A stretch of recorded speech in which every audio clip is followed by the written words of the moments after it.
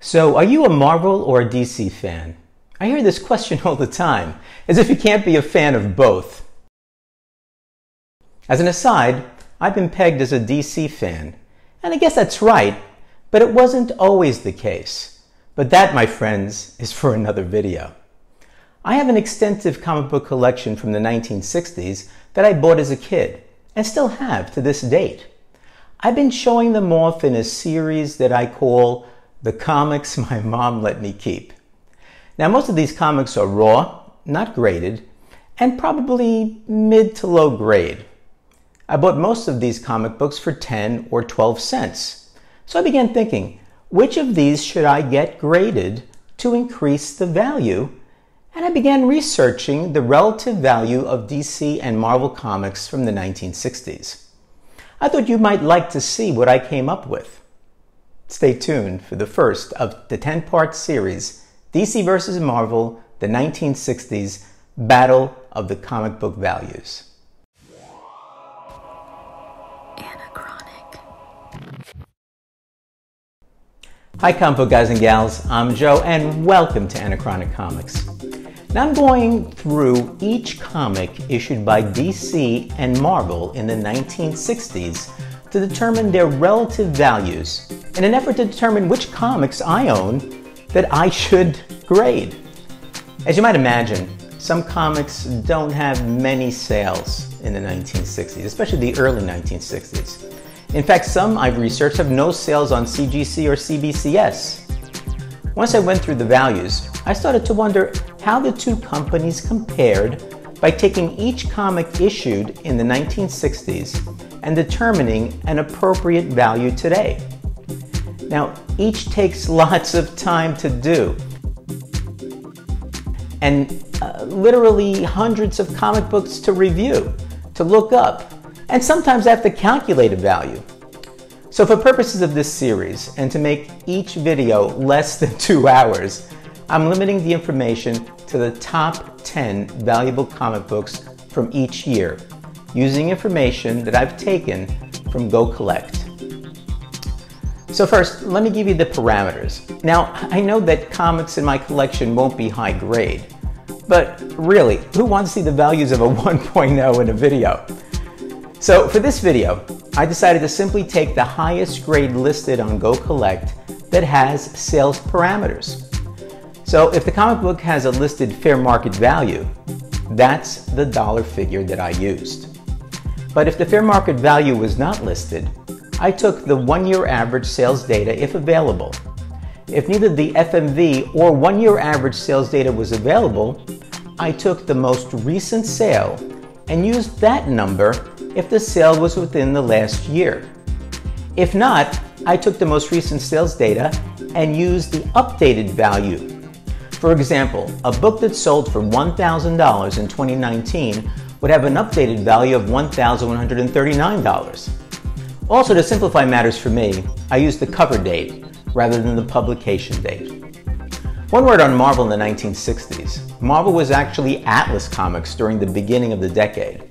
The Fantastic Four ushered in the Marvel Age with its issue number one in 1961, and other heroes added during the early 1960s. Now, prior to that, Marvel published mostly horror, science fiction, westerns, and love-lorn comic books. Yet, on my first top 10 list from 1960, although DC dominates, Marvel did break into the top 10 with two entries. So let's take a look at the top 10. So number 10 is Batman, Volume 1, number 129, with a cover date of February 1960, which comes in at $11,000 for a grade of 9.4. Now, there weren't very many 9.4s, but there's a total of 123 universal grades in the census for this book, all grades. Now, this is the only comic book in the top 10 with an FMV. The cover art is by Sheldon Moldoff, and it has three stories featuring Batman and Robin, with the cover story, The Web of the Spinner, written by Bill Finger and penciled by Moldoff. Also, it featured Batwoman. Now, it's the second story, also written by Finger and penciled by Moldoff, which makes this comic book a key. The story, entitled The Man from Robin's Past, retells the origin of Robin. Number 9 is Flash, Volume 1, Number 111, with a cover date of March 1960, which comes in at $13,725 for a grade of 9.4. Again, not many 9.4s, but a total of 137 universal grades for this book. This is the only comic book in the top 10 that is not listed as a key on Key Collector app. The cover art is by Carmine Infantino and Joe Giella. The value for this book comes in from the second story, The Challenge of the Crimson Crows, in which Kid Flash, Wally West, makes his second appearance. Number 8 is another Flash, Volume 1, Number 114, with a cover date of August 1960. This comic comes in at $17,925 for a grade of 9.4. There were a total of 157 graded comic books for this issue. The cover art is by Carmine Infantino and Joe Giella. The cover story, The Big Freeze, makes this a key because it features the second appearance of Captain Cold.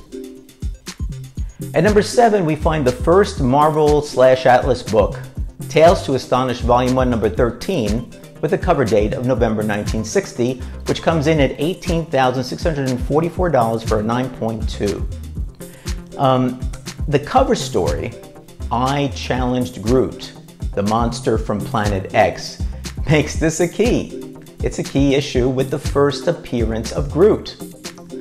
Now, the cover and story art was by Jack Kirby, with the plot by Stan Lee, and the script by Larry Lieber. Number 6 is showcase number 24 from February of 1960 featuring Hal Jordan as the Green Lantern. This comic book comes in at $19,091. The cover art is by Gil Kane with inks by Joe Giella, who also did the art for the cover story. The cover story was written by John Broome. The Creature That Couldn't Die. This issue is a key, featuring the third appearance of both Hal Jordan's Green Lantern and Carol Ferris. Now, Green Lantern earned his own book, and both Hal and Carol made their next appearances in Green Lantern number one. Now, if you're a fan of the Silver Age, you already know that the top five most valuable comic books of 1960 are dominated by the Justice League of America, with four of the top five books. Number 5 is Brave and the Bold number 30, the third appearance of the JLA, with a cover date of July 1960. It comes in at $21,280 for a 9.2. The cover art is credited to Mike Sekowsky, pencils, and Murphy Anderson inks. The story, The Case of the Stolen Powers, was written by Gardner Fox and drawn by Mike Sekowsky. Now, this is a key issue not only because of the third appearance of the Justice League of America, but also the first appearance of Amazo, the android, and Professor Ivo. At number four, we have the second Marvel Atlas comic book, Rawhide Kid number 17, with a cover date of August 1960, which comes in at $23,485 for a 9.4 the cover art was by Jack Kirby and Dick Ayers. The cover story, Beware the Rawhide Kid, features the first appearance of the second Rawhide Kid, Johnny Clay. The story was written by Stan Lee, with pencils by Jack Kirby. Number three is Brave and the Bold number 29 with a cover date of May 1960. It comes in at $47,095 with 49.4 the cover art was by Mike Sekowsky and Murphy Anderson. The story, Challenge of the Weapons Master, was written by Gardner Fox with pencils by Sekowsky. Now it's a key issue featuring the second appearance of the Justice League of America and the first appearance of Xotar the Weapons Master. Now I thought numbers 1 and 2 would be reversed. Shows how much I know. Number two on the list of the top 10 most valuable DC and Marvel comics of 1960 is Brave and the Bold number 28 with a cover date of March 1960 featuring the very first appearance of the Justice League of America, as well as the first appearance of Starro the Conqueror. Now it comes in at $93,870 for a grade of 9.4. The cover art, like the other Brave and the Bold issues, is by Sekowsky and Anderson. The story, Starro the Conqueror, was written by Gardner Fox with pencils by Sekowsky. Now, we're finally getting to the number one most valuable DC and Marvel comic book of 1960. You guessed it, Justice League of America number one, with a cover date of November 1960. It comes in at a whopping $249,905 for a 9.6 graded copy. There are a total of 1,262 copies at all grades in the census. This key issue is the first solo titled Justice League of America series and the first appearance of Despero.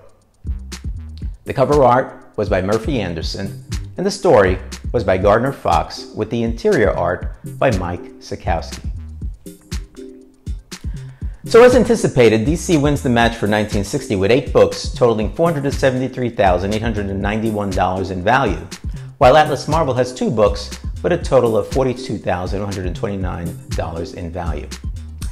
As I mentioned, 1961 will see the Fantastic Four added to the Marvel list, so the results may be different. We'll see in episode 2 of DC vs. Marvel. A postscript to this list.